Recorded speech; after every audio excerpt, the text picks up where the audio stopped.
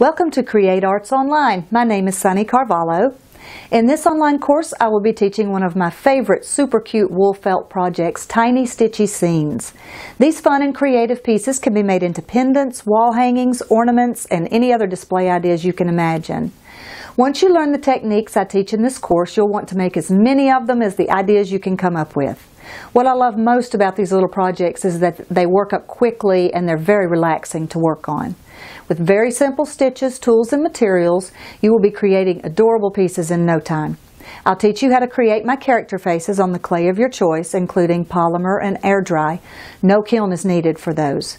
I will demonstrate two different methods for painting the faces before we begin to create the scenes. There's no limit to the imaginative tiny scenes that you can make.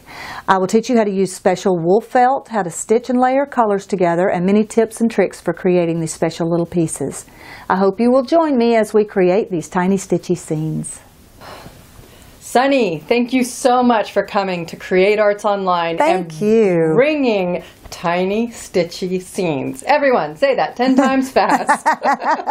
it is so great to have you here and one of my favorite projects because it's just really again so imaginative, so unique and so gratifying. It is. Thank you very much, and thank you for having me back. It's been wonderful. Yes. And yeah, I just love making these little things. There's just so many uses for them, and your imagination can just take you to so many different places when you're making them. So they all have their own little character. Well, they do. And again, it's Sunny with her character drawing, which bundled into this course and also a standalone course, course I highly recommend so that you can dive in even if you're not going to draw her characters Right. it really gives you a good in-depth drawing lesson not necessarily into shading or realism but for characters and how she breaks it down it's really quite uh, amazing Simple. and Yeah, simple. simple. exactly but this one's my favorite like we have a little character here but it's a sheep but it's got a little friend here on a pole like the stories that go on in your head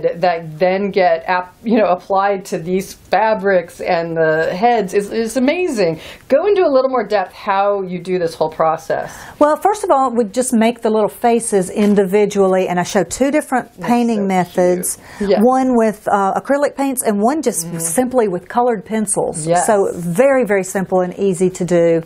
And uh, from there, we take that onto the little piece itself. And I never know where these are going to go until I actually get started, and then they kind of tell me their own stories. tell you their own stories. They do. and they are. They're little scenes. And they do. They make great gifts or ways to decorate other things. She's made this kind of stitch thing, which is like a cuff that she wears as a bracelet that's really cute. But again, everything comes from the idea journal, too. It does, yeah. And I was going to say too that you don't have to even do an entire scene because you could even do like something like that, you mm-hmm. know, to make like a little brooch or something. Right. There's just so many things you can do with these. And it, yeah, so they could be put onto clothing if they're not washed, right? yeah, yeah, they wouldn't be washable if they're on air dry or polymer clay, but And then Yeah. the um, the wool felt, you have the PDF, Correct. which is instructional and pictures of how that is created, so you can learn that, which is kind of a bonus to the It course. is, yeah, and it's not a, a totally necessary kind of thing. I mean, you could do it or you could not do it. It's really up to you because you can buy those felt pieces, and then um, I give a method for just making them look kind of wrinkly and not so perfect. So even if you don't want to get deeply into the dyeing process, you can still make them look, you know, a little more worn. Than a little that. more worn down Yeah. than that. So with just a few materials, like you said, and a sewing, you know, kit, just your needles, some beads, you can really have a variety of these made in like a day, like a rainy day in the house. Yeah, exactly. Yeah, exactly. And then you can throw everything in a bag and take it with you. You know, stitch wherever you are. You're waiting in carpool line. You got a few minutes. Throw in a few stitches. Oh, it's so great. I can't thank you enough for bringing this really fun, gratifying, right? Uh, yeah, I think so. and achievable. Very achievable, yes. A course to create arts online. Thank you. Yeah.